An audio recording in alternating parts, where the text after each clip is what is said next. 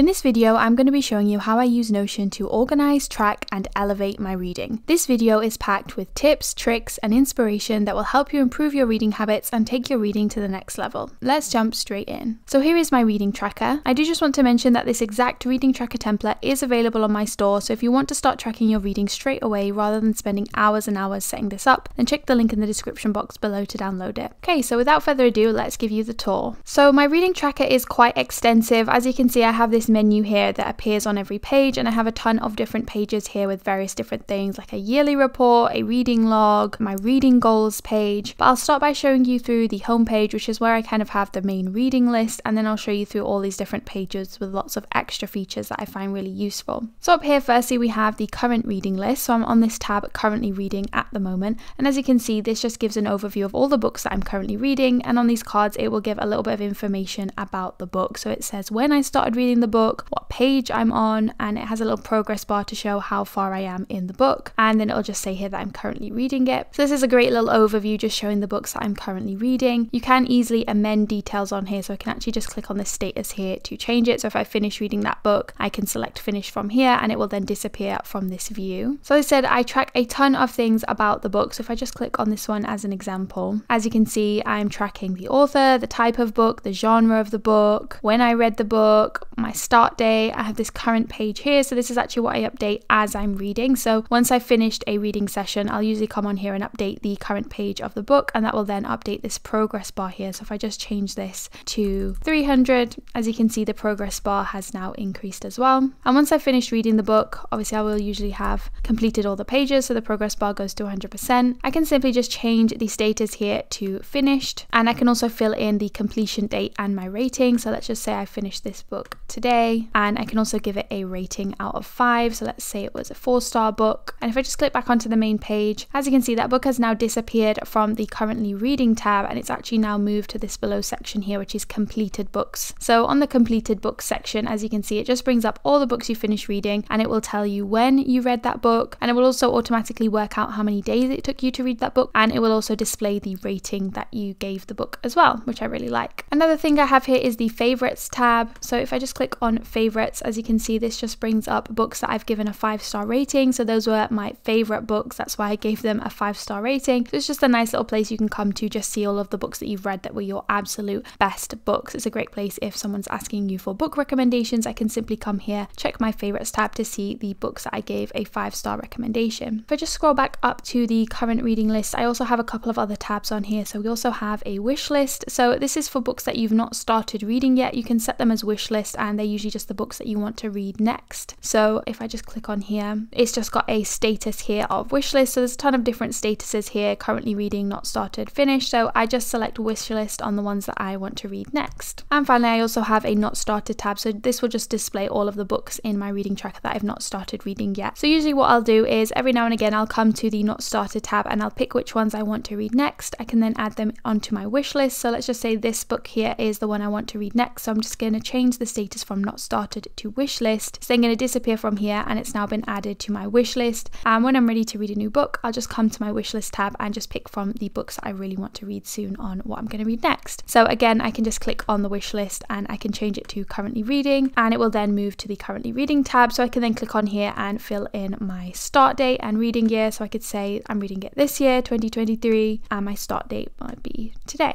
and it will look like this. Another thing that I've added to this template is book reviews. So if I just click on one of these books as an example, let's go with this one. So if I just scroll down, as you can see, it comes up with this pre-added template where you can add a book review. So I've created two different templates here, one for a fiction book, one for a non-fiction. So let's just click on the non-fiction as an example, and that will then input the book review. So you can then fill in your key takeaway from the book, your favorite chapter, what the book was about, what you found interesting and helpful, and you can list out all of the key takeaways or the key things that you learned from the book. Another section I have here is the favorite quotes and takeaways. So I've actually inputted this database where you can add quotes and takeaways, and this will then feed into another page that I have in the tracker, which is quotes and takeaways. So I'm going to show you that later. So it will just collate all of your favorite quotes or key things that you learned from books into one place so that you can easily review and look at them. So this is where you can actually add them for this specific book. Let me just find an example of one that I filled out so that you can see how that looks. So here is an example with Atomic Habits. So I actually added a few quotes from the book that I found helpful in here, and these will feed through to another page, as I said, which I'm going to show you in a minute. You can also select them as favorites. So I have another section where you can see just your favorite quotes. So I've selected these two as favorites as I think they're really, really useful. If I just scroll down, I also have the master book database. So what I've just shown you so far are special gallery views of the reading tracker. But I did also just want to add in one master table like this, which just shows all of the books within the tracker and all of the information just in one place. It's an easy place to come just to update things that you need to update. And I have got filtered views depending on the status of the book. So we're currently on the master book database tab, which just shows all of the books within the tracker. So as you can see, you can input the author of the book, the type of book, the genre here. This is where you can update the status. You can add in when you started reading the book, the pages, your progress, and once you've finished the book, you can fill out the completion date and rating. To make it a little easier to find what you're looking for, I've also created these different tabs here. So we have a currently reading tab, so it'll just bring up the books that you're currently reading, so you can easily update them here. A completed tab for books that you've finished. So for these ones, you would fill out all of the completion date and rating. So again, it's just an easy place to be able to view all of the books you finished reading and, for example, the ratings and things like that. I've also got a not started tab for any books you've not started reading and the wish list, which was for the ones you've added to your wish list. So it's a really handy place where you can just see everything about every book in the tracker. So another thing that I've added to the tracker that I really love is this little reading stats section here. So as you can see, I have a tab here that is the reading stats. So it shows how many books you've read this month, this year, and in total. So I actually just set up a range of different formulas that would pull through the data from the main book database to figure out how many books you've finished reading. So that's really cool. I do think it's really fun just to see the numbers in here increase over time. And I've also got this reading log stats section as well. So I do have a reading log page, which I'll show you a little bit later in the video. And you can essentially just input after every reading session how much time you spent reading, and that will then calculate in total how much time you've spent reading either this month, this year, or in total. So again, it's just really fun to watch the numbers increase, and it's a good way to ensure that you are spending time reading, which I really love. Okay, so that is the homepage. That's kind of the main portion of the reading tracker. It essentially just allows you to track books, track your progress, and also see all the books that you've finished reading. But I do have a lot of other features in here that I really like, so I'm going to work my way through this menu here. So the first thing here in the menu is this start here page, so I am actually going to skip that for this tutorial as that's mainly just a setup page for people that have purchased or downloaded the template, so it just walks you through step by step how to set it up for the first time. So if you do want to buy this template, as I said, I'll leave a link in the description box and you can use this page to work your way through setting the template up. So let's jump straight to this books by genre page. Okay, so if I just scroll down here, so as I said, all of the pages have the menu and the reading stats in the sidebar, which is really nice. So this is the books by genre page. So as you can see here, we have an overview of all of the genres within the template. So I have actually pre-added all of these genres. So if you were to download this exact template, it does come with all of these genres with the icons and everything. So you don't have to add this yourself. It automatically comes with that, which is really useful. So essentially these little cards will just bring up the name of the genre and it will tell you how many books you've read in that genre. So it's really fun to over time be able to build this up and see how many different genres you've read books in. So you can also click on these as well. So let's just use drama as an example. So it says I've read three books in this genre. So if I just click on there, so as you can see, it says here that I've read three books and it actually brings up all of the books that you've read. So this is the completed books tab. So these are the books that I've read in this genre and it will bring up the details here like the rating and how long it took me to read the book. And there is also an all books tab as well. So this page would normally bring up also the books that you've either not started reading yet or you're currently reading that are in this genre as well. So in this case, I've only inputted three books in total that are under the drama category, which is why there's only three. So this is just a fun page to track just the genres of books you've read. It's also really easy to add more genres. So I have added quite an extensive list of genres here, but if there is something missing, then you can add it to the genre list. So on this tab, it just brings up a list here of all the genres. So you can just click on this plus new button at the bottom to add another one if you like, and then that would automatically be added to this genre overview page. Next, let's have a look at the yearly report. So on this page, it essentially just gives you an overview of each year and how many books you've read. So let's have a look at my 2023 stats. So it said I've read seven books this year. It will calculate the total number of pages that you've read, and it will also calculate how many hours you've spent reading. So it's a nice place to be able to come just to compare each year. So as you can see, I've got some 2022 stats, 2023 stats, and obviously these ones are still blank as they're future years, but it's great to be able to build this up over time and see your progress and how much you've read and compare each year. You can also click on these blocks as well. So if I just click on 2023 as an example, it does bring up some more information about the books that you read this year. So this will just bring up a list of all of the books that you read in 2023 and it'll just bring up a little bit of information about each one, like how many days it took you to read that book and the rating as well. There is also a checkbox on here for your favorite book of the year. So at the end of the year, you can just come onto this little page and decide which book was your absolute favorite and check the checkbox like this. And if I just scroll down to the bottom, it will have a favorite book of the year section and it will just bring up that book that you chose as your absolute favorite. So that's just a fun little activity that you can do at the end of every year. So I've pre-added up to 2028, but if you do get to 2029 and you need to add another one, you can just go on this year list tab here and just add another year here. It's pretty simple. You can just type it in and it will automatically add this icon, which will then add it onto this page here. Next, let's take a look at the reading log. So the reading log is a place where you can log all of your reading sessions throughout the year. And as I showed you earlier, this will then feed into this reading log stats area in the sidebar. So it will calculate how many hours you've spent reading this month, this year, and in total. So this here is the actual reading log. So we're currently on the this month tab, which will just show an overview of all the sessions that you've done this month. There's also a this year tab, which shows all of the reading sessions for the current year. And I've also added this all time tab if you just want to see all of the reading sessions that you've ever done. So I'm just going to add one as an example to show you how that feeds into the reading log stats. So if we have a look at the reading log stats, it's currently on 3.91 hours for reading this month. So let's just add one in. So I'm going to click on this plus new tab and that's going to add in a new reading entry.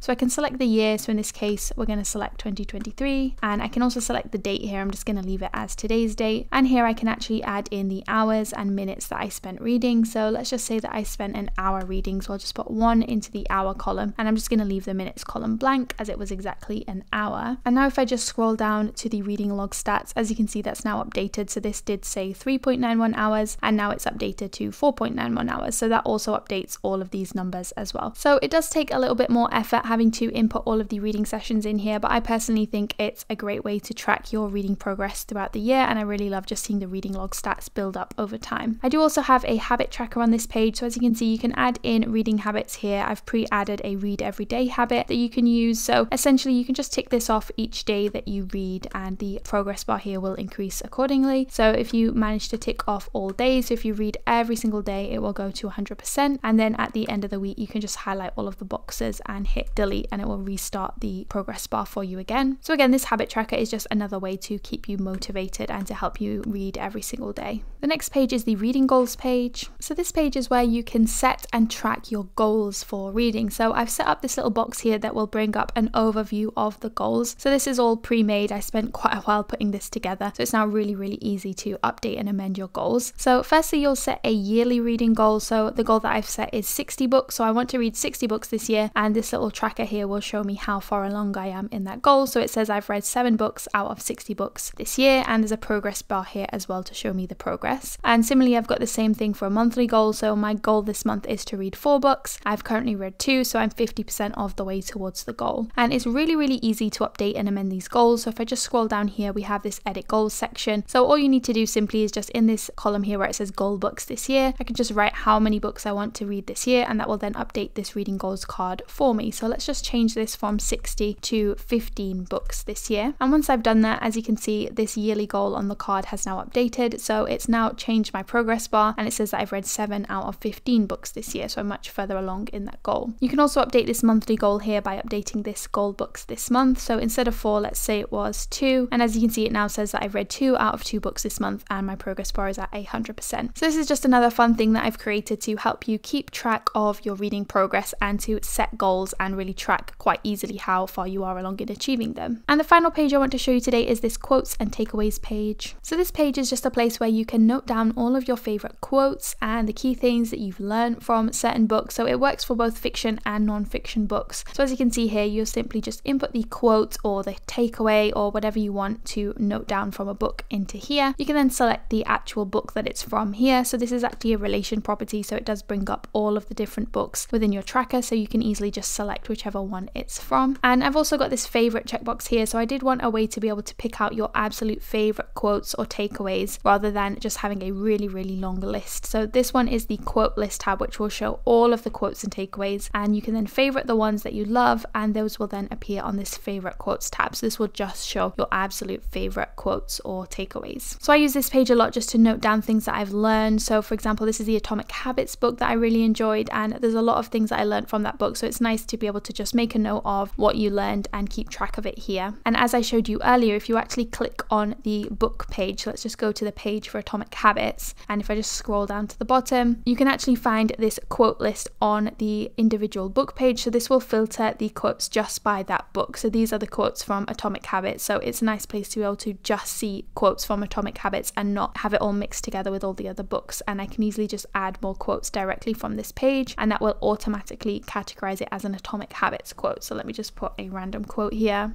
So I've just added this random quote thing here. So if I just go back now onto the main page and onto the quote list, as you can see that random quote has just appeared here and it's automatically tagged as Atomic Habits, which is really cool. And that is my reading tracker. So as I mentioned earlier, this exact template is available on my store. So if you're interested at all, then I'll leave a link in the description. It also comes with an in-depth YouTube tutorial showing you exactly how to use it and set it up. So here is the blank reading tracker. So this is how it will look if you downloaded it from my store. So I have put one book in here just as an example so you can see how to fill in the different columns, but you can just delete this once you've had a look and you're ready to start. There's also a start here page, which is essentially just a setup page. So it just walks you through setting up the template for the first time. So the template does come with absolutely everything that you've seen today. It comes with all the reading stats set up for you, all of the pages that I've been through today, and both of the pre-made book review templates as well. And if you did find this video useful, then I'd really appreciate if you could give the video a thumbs up and subscribe to the channel as I do upload new Notion tutorials and videos like this one twice a week.